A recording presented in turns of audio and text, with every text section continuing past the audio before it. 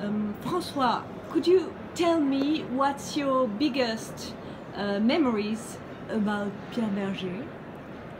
Tonight we are at the Grand Palais for the opening of the Biennale and this, of course the big sale that we realized at Christie's for him in February 2009 which is uh, the best memory of my career and one of the most important auctions in the world and the collaboration with him during 18 months was excellent and it was so easy and so helpful that uh,